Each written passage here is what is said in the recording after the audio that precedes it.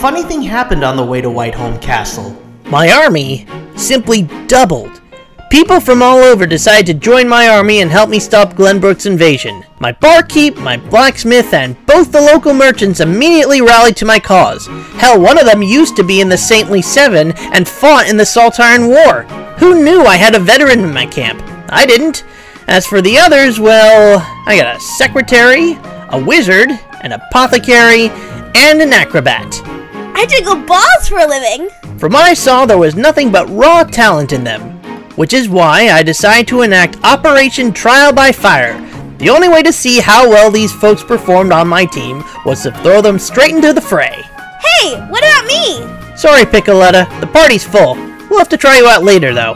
My father is in danger! Pay off, foe no mind! We make our way through the... Kill anyone you see wearing magenta armor. Show we mean business, boys.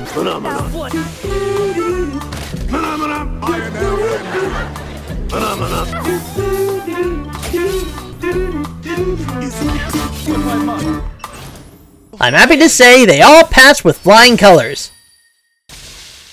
With the Frosty soldiers gone, there was nothing standing between me and my brother-in-law. Gustadolph, I don't know what your malfunction is, but I'm here to fix it. Permanently. Well, well, if it isn't my dear Frederica and my new brother-in-law. Brother, why are you doing this? Haven't you heard? The King of Glenbrook ordered the assassination of my dear cousin Dragan in hopes of taking the resources of the mine for himself. Actually, it was several as Frosty soldiers who did him in, probably under your orders. We have witnesses to corroborate the story. Do you now? Well, let me offer you some evidence of my own. Avlora, if you please. Yes, my lord. Hold it! This is not only most irregular, but highly illegal as well. I demand that you put down your swords at once and. Oh! Oh no! Prince Frani's been slain. Whatever shall we do? Yada yada yada. Sir Maxwell, take Roland to safety at once! Um, that won't be necessary. Let's just finish this here and now. No, no, I assure you, it's much too late for me. You have to save yourselves now. We just paved a trail of blood on the way here. A few more Frosty soldiers isn't gonna make much of a diff- Oh, god damn it. Don't worry, sir. Maxwell will secure a boat for us to escape in. It's the only way to dodge pursuit. And so we waited. And waited. And waited. And eventually Sir Maxwell arrived. And so did the Frosty soldiers. We ended up carving another trail of Frosty blood in our wake. Honorable mention goes to Piccoletta, by the way.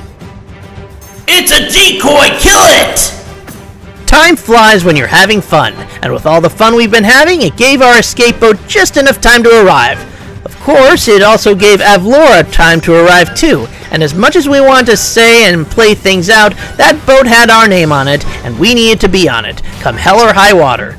Maxwell had different ideas. He was going to go for round two with Avlora while we made our escape.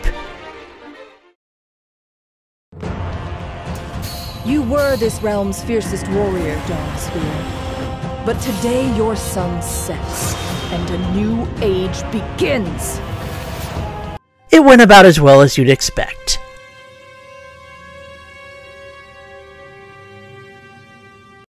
We took a swift journey down the river back to Castle Wolffort, but there was a lot of activity going on outside of our little adventure.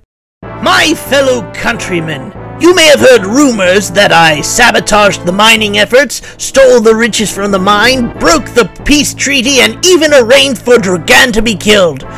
Well, all I have to say on the matter is, it's all true. There, I said it. Now will you let me go? Of course I'll let you go. Forever!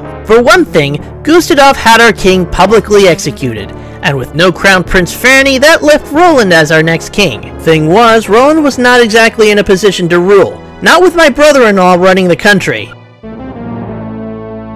With your father dead and your brothers out of the way, that just leaves you to rule over Glenbrook, Cordelia.